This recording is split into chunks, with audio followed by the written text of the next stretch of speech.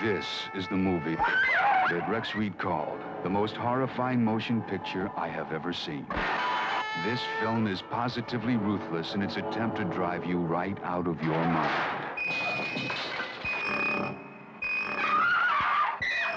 Sally, I hear something. Stop. Stop. The Texas Chainsaw Massacre. From New Line Cinema, rated R.